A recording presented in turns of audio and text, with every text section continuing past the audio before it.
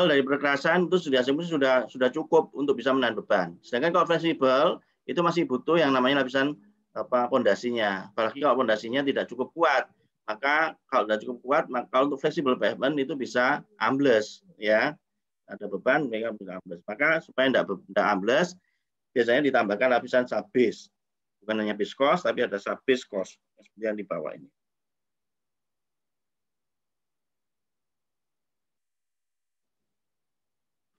Untuk rigid pavement kita menggunakan, bisa menggunakan PCA method atau FAFA method ya. Jadi ada beberapa metode sama seperti untuk fleksibel. Kalau fleksibel kemarin kita ada yang namanya CBR method dan FAA method ya. Untuk saat ini kita akan pelajari adalah FAA method. Jadi apa perencanaan uh, untuk tebal perkerasan rigid dengan menggunakan metode FAA. Kemudian Eh, sama seperti yang kemarin eh, untuk beban yang paling besar jadi main gear-nya tadi itu 95% besarnya sedangkan untuk nose gear adalah 5%. Ya. Sama seperti kemarin ya. Di main gear itu adalah 90% dan nose gear adalah 5%. Sehingga nanti berat untuk MTW-nya itu dikalikan 90%, ya. Dikalikan 95% untuk mendapatkan beban dari beban dari pesawat itu ya nanti dibagi dengan dibagi dengan jumlah roda ya dibagi dengan jumlah roda. Untuk landing gear type-nya itu ada single gear, ada dual gear, ada dual tandem, ada wide body aircraft. Landing gear type-nya tadi itu sesuai dengan nomogram yang nanti kita akan pakai.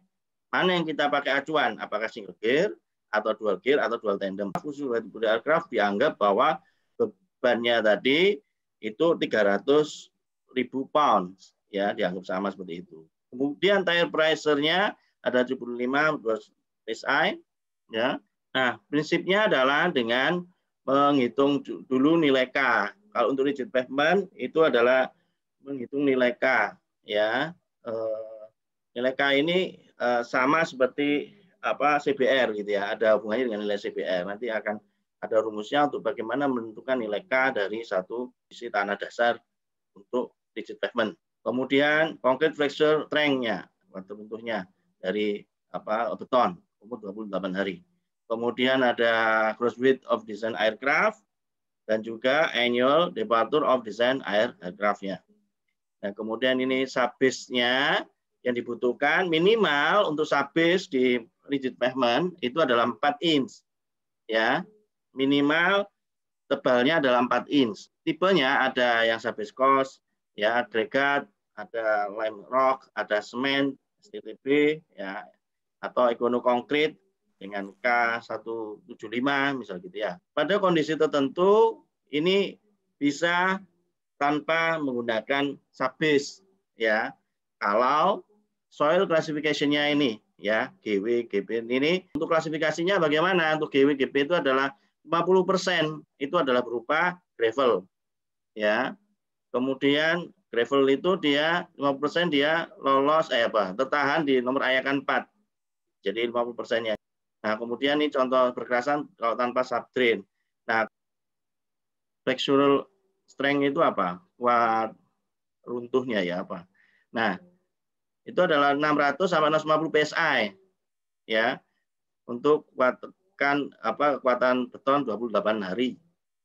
Kemudian Desain prosedurnya ini ya eh, menentukan annual departure-nya sama sebenarnya seperti yang kemarin pada saat menentukan apa uh, flexible pavement ya. Intinya kita nanti me, apa menjadikan menjadi satu apa uh, desain aircraft ya yang kita pakai apakah dia single apa wheel atau double wheel ataupun tandem. Nah ini maka ini ya, kalau eh, kita mengkonvertkan ke dalam atau kita pakai nomogram yang dual wheel, maka ya dual wheel. Single wheel ke dual wheel itu adalah 0,8 kalikan 0,8. Jadi eh, ya kalikan 0,8. Ya. Kemudian demikian pula untuk single wheel dual tandem kalikan 0,5. Ya apanya yaitu tadi apa maksimal departurnya tadi. Ya. ya. Kemudian dual wheel dan seterusnya. Ini uh, dual wheel ke dual tandem 0,6, dual tandem double dual tandem ke dual tandem dikalikan satu. Ya, kalau dual tandem ke single wheel dikalikan dua dan seterusnya. Dengan cara yang sama juga kita menghitung R1 atau di sini rumusnya log R1 sampai dengan log R2 akar B2 per W1. R1-nya adalah 10 pangkat log R2 akar B2 per W1. Ya. R1 itu apa? Annual departure untuk desain aircraft. Kemudian R2 adalah annual departure untuk aircraft yang ada di situ. Ya sesuai dengan landing gear configuration-nya. W1 adalah wheel load untuk desain aircraft, W2 adalah wheel load untuk uh, aircraft yang dikonversikan. Maka untuk white body, white body uh, sarannya tadi untuk W-nya tadi ya adalah 300.000 pounds untuk dual tandem aircraft. Nah, sekarang tinggal uh, kalau dual tandem dibagi 8 ya kan jumlahnya apa uh, uh, uh, rodanya. Nah ini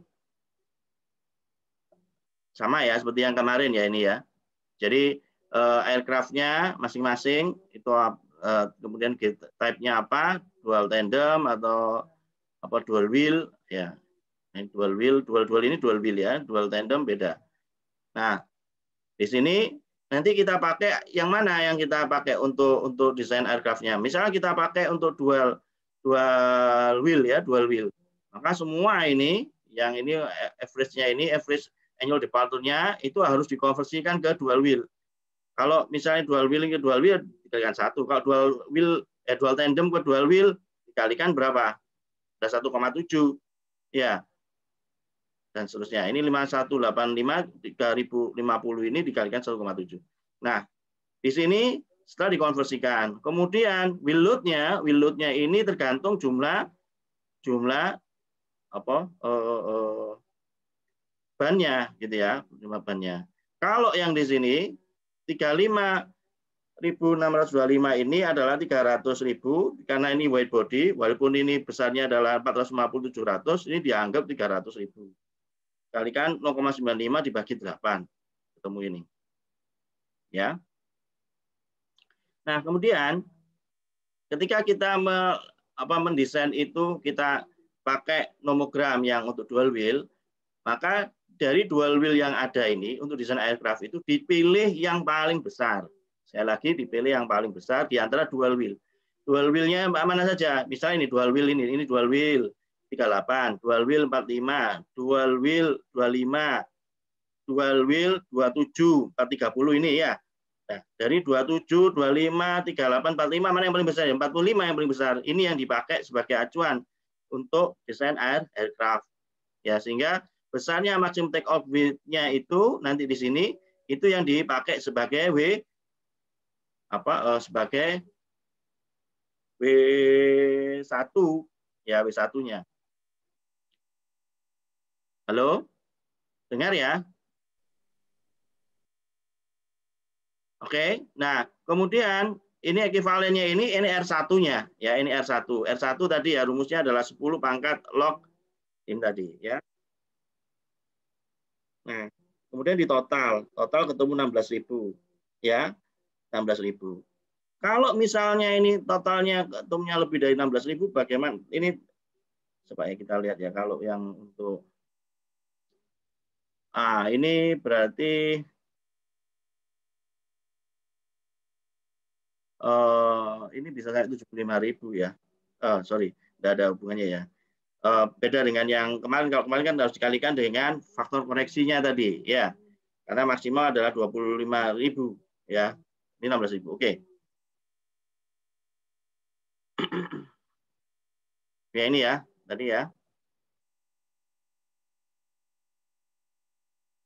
Nah, kemudian uh, kita menghitung flexural strength-nya ya 7,5 kalikan apa eh, patokannya 28 hari.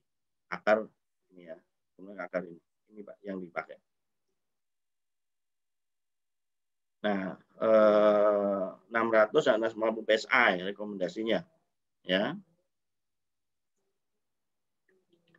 Kita menghitung nilai K, nilai K di atas subbase-nya, ya. Jadi eh, kita menentukan berapa tebal subbase kita, ditentukan dulu, misalnya berapa? Misalnya kita pakai yang 6 gitu ya. Kemudian subbase kita berapa nilai K-nya, ya. Kemudian nanti di sini akan ketemu nilai K on top the established apa subbase-nya. Jadi ya nilai K di atas subbase-nya itu nanti ketemu berapa di sini. Itu untuk uh, men, nah ini untuk menghitung yang di sini K-nya ini. Ya nilai K-nya ini berapa? Ya. K di atas habis. Ya, kemudian ini tadi kuat tekan betonnya tadi ya berapa PSI. Pertama ini kita apa uh, dari dari kuat tekan betonnya berapa, kemudian kita tarik, kita tentukan berapa nilai K-nya di atas habisnya, kemudian kita tarik ke sini, kemudian sampai di mana, kemudian misalnya K-nya ketemunya katakan 100, misal kita tarik ke situ 100, misal gitu ya. Di sini 100, kemudian berapa apa beratnya? Ya. Berat untuk uh, gross weight design aircraft-nya. Misalnya 45, ya wes 100, 145 di mana? 45 misal di bawah ini, ini 45. Ya kita tarik ke bawah. Ya, tarik ke bawah, kemudian ditarik ke samping di situ. Nah, di sini adalah uh, sama ya tadi ya, annual departure-nya adalah 25.000 maksimalnya. Kalau tadi kan kita apa 16.000. Nah, kalau misalnya 16.000 kan berarti di antara 15 sama 25.000. Maka berapa nilai yang 15.000, 25.000 berapa? Nanti diinterpolasi di antaranya. Kalau misalnya kita ketemunya 16.000 sekian. Ya. Jadi nilai yang ada di sini tebal slab thickness-nya itu 15.000 berapa, 25.000 berapa, kemudian kita 16.000 di antaranya ini diinterpolasi. Gitu ya. Nilai untuk uh, tebal teknis yang kita perhitungkan. Itu kalau kita pakai single wheel. Sorry, tadi kita pakai dual wheel ya. Dual wheel pakai yang ini berarti. ya.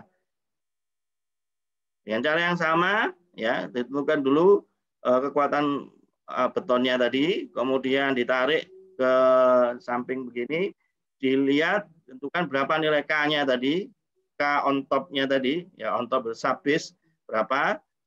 Kemudian dari situ ditentukan ke eh, setelah itu adalah menentukan ininya jumlah apa uh, jumlah apa uh, berat dari berat dari desain aircraft kita. Ya, berapa? Misalnya tadi berapa? 45 ya. Ini kan 45. 45 ini ya, 45. Ya, berarti 45 ribu, ya, ya 45, 45 ribu ini.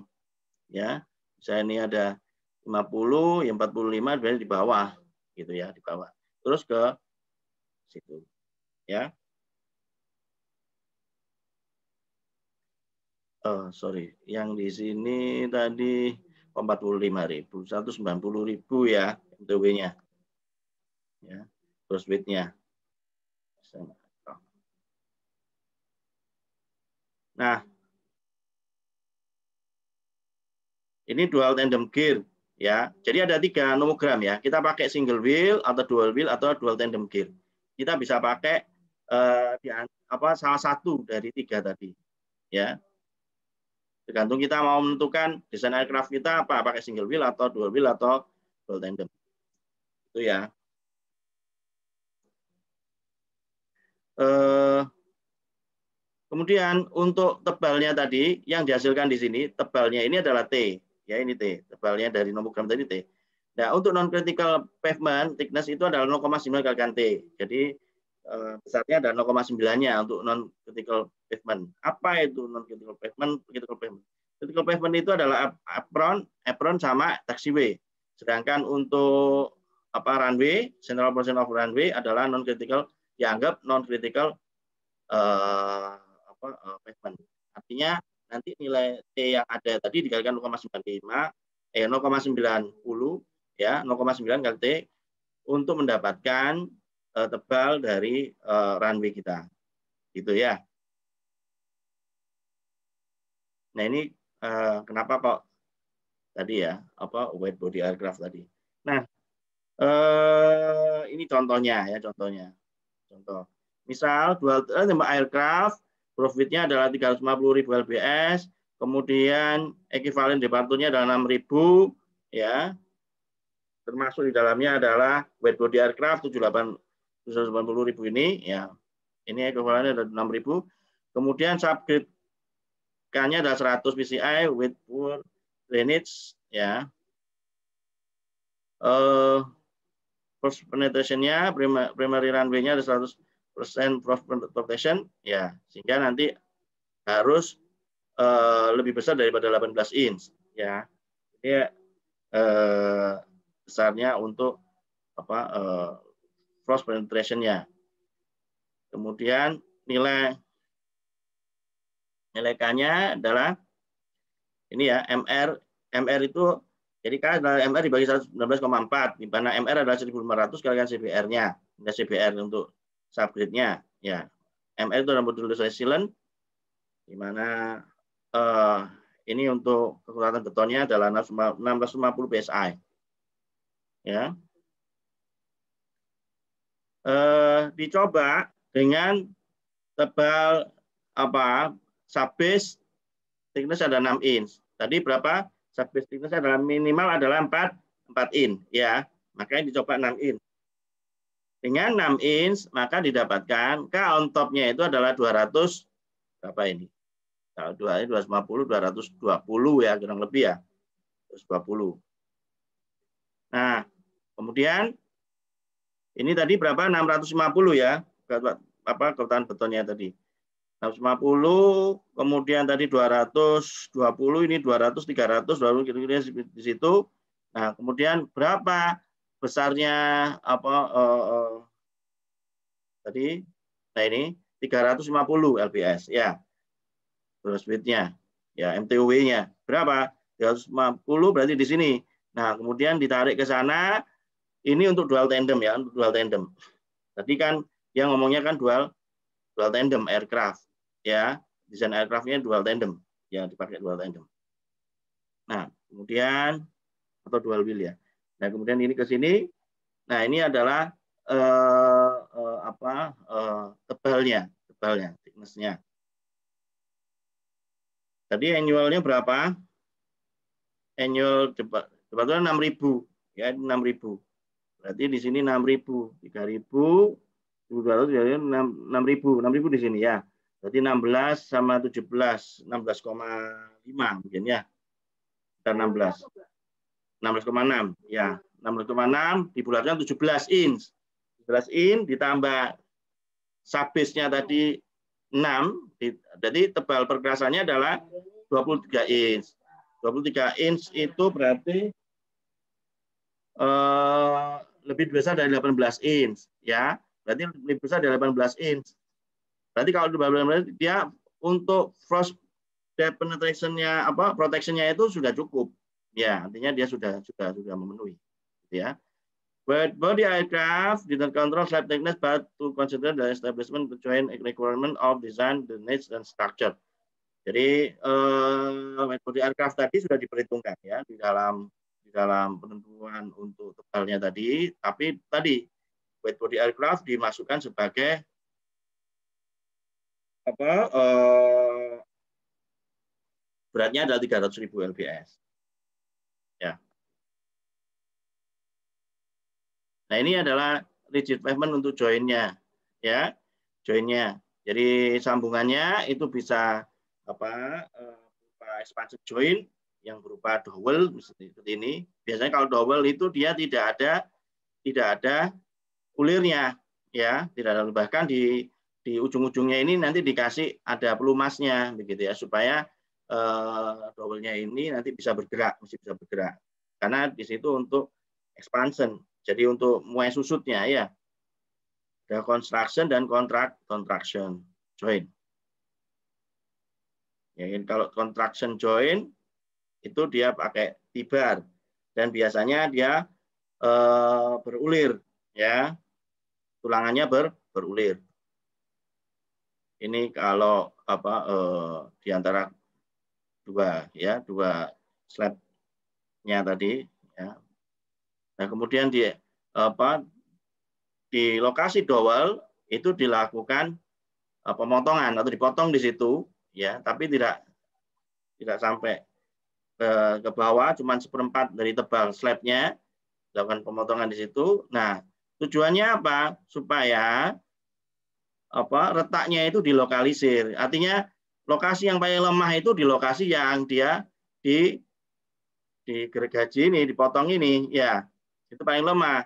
Nah, nanti pada saat dia mulai susut, ya eh, maunya adalah di lokasi yang paling lemah ini yaitu di lokasi yang ada dowelnya. Nah ini ya di, yang diharapkan.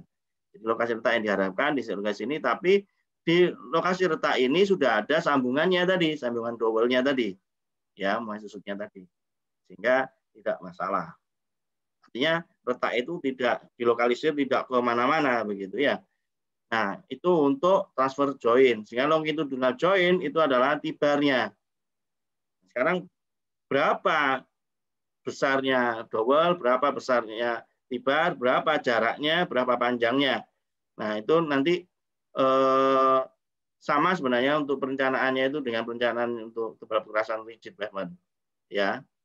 Kita bisa pakai eh, dasar eh, tebal slabnya itu sebagai dasar untuk menentukan berapa dimensi dari dowel maupun tibar. Ya. Nah ini thickness slabnya berapa, diameternya, length spacingnya untuk dowel. Sebenarnya tibar juga sama, ya hampir sama seperti itu. Oke, sampai sini ada pertanyaan untuk materi rigid pavement. Uh, Pak izin bertanya, Pak. Ya. Untuk yang uh, frost frost depth ini yang 18 ini itu berarti harus selalu diketahui dari soal ya, Pak? Atau ya, diketahui ya, di lapangan itu gitu kan ya? kalau di lokasi yang empat musim ya. Kalau kita kan enggak ada. Kita enggak ada. Oh, berarti emang nggak ada nggak ada minimal thickness itu ya, Pak? Enggak ada. Jadi eh, kalau di lokasi itu lokasi empat musim ya. Kalau misalnya kita ingin mendapatkan apa eh, apa, eh, proteksi terhadap adanya frost action tadi. Jadi kalau misalnya air itu kalau dia beku itu kan dia volumenya mengembang menjadi lebih besar. Nah, kalau mengembang itu kalau tidak diantisipasi dengan baik itu tebal slabnya maupun tebal dari base course-nya tadi, maka ini akan menyebabkan retak gitu ya. Nah, supaya tidak terjadi itu, maka tebalnya tadi minimal ada 18 tadi. 18 inch tadi. Itu khususnya empat musim. Kalau di tempat kita kan tidak perlu itu. Ya itu contoh aja. Itu Mas. Oh, iya Pak. Ada pertanyaan? Uh, terakhir Pak dari saya Pak untuk ya. penentuan ya. uh, tebal subbase itu kan minimal 4 in Pak. Itu kan minimal. Terus untuk di lapangan di saat kita merencanakan itu berdasarkan apa ya Pak kita nentuinnya? Apa trial aja bebas terserah kita pak? Uh, ya terkan. Jadi kalau misalnya kita mau merencanakan asalkan tidak atau lebih dari 4 inch tidak masalah. Nanti kan itu kan berpengaruh terhadap tebal lapisan di atasnya gitu loh. Tebal lapisan untuk oh, iya, Pak. ya. Oke pak. Baik pak. Hmm. uh, pak nanya satu lagi pak untuk ya, yang uh, max take off weight dari white body kenapa harus 300 ribu aja ya? Nah. mungkin ya, mungkin saya tidak tahu ya, kita batasan dari apa uh, nomogramnya itu mungkin ya. Jadi, wis pokoknya wis gue dianggap bahwa dengan nomogram itu, dengan tebal yang ada itu, itu sudah cukup kuat gitu ya dengan wide body aircraft yang besar tadi. Itu asumsinya mereka untuk FAA itu itu. Tapi kalau Anda tanya, kenapa kok 300 ribu, kok nggak 400 ribu, atau kok nggak 250 ribu, atau kok nggak, kan gitu ya. Kok nggak 500 ribu? Nah itu yang saya nggak tahu. Saya mau maaf, saya nggak ngerti. Berarti apa namanya kita harus hati-hati dong pada saat nentuin ya, benar, ya. benar. Soalnya jadi harus nentuin kita, aircraft uh, dulu. Jadi gini, Kan kalau untuk list untuk wide body kan sudah ada. Ya, list wide body sudah ada. Tinggal kita lihat ini termasuk wide body atau tidak. Kalau dia termasuk wide body langsung dianggap 300 ribu gitu. Ya, tapi kalau dia tidak termasuk wide body ya sesuai dengan beratnya itu berapa di situ. Kemarin di di di slide yang untuk apa flexible pavement ada di situ. Wide body itu apa saja? Ya, yang termasuk kriteria wide body ya, aircraft kan banyak. Ya. Gitu, Mas. Oke, Pak. Baik, Pak.